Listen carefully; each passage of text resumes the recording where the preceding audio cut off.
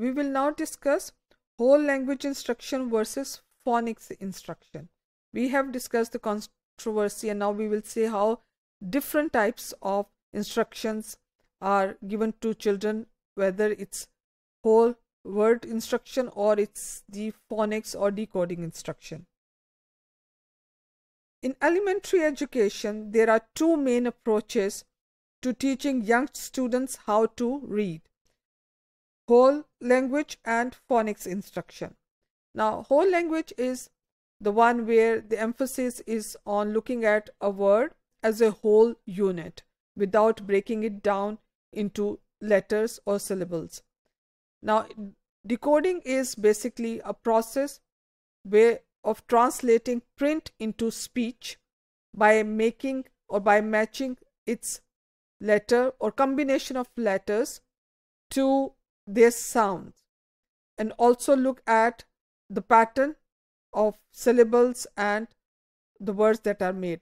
So basically it breaks down words or when we talk about phonemes we see that phonemes are the smallest units of sounds that a word is bro broken into letters and looking at the letters which are connected to the sound those letters make. So providing learner with the understanding of phonemes and breaking down a word into its phoneme to enable learner to match the letter to its sound and then whole word or whole language approach relies on looking at the word as a unit as a whole unit in contributing in the understanding of the meaning those words or combination of words actually convey.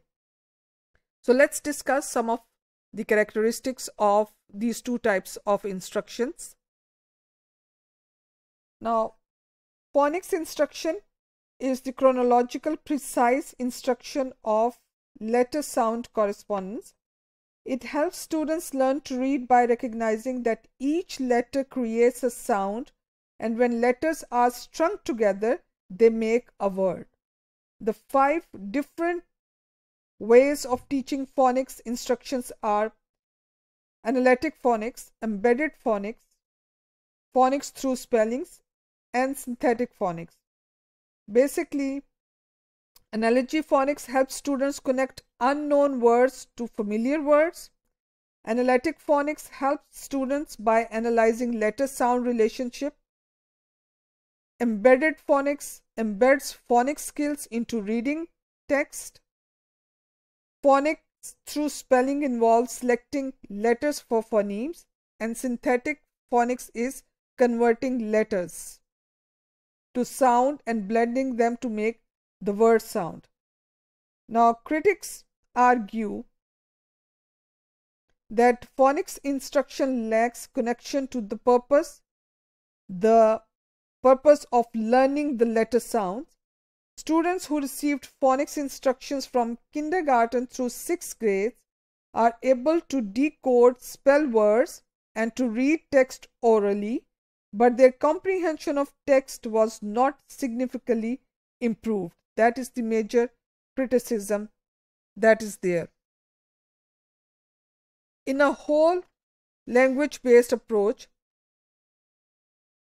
teachers emphasize the meaning of text versus deconstructing the parts of words like phonic does.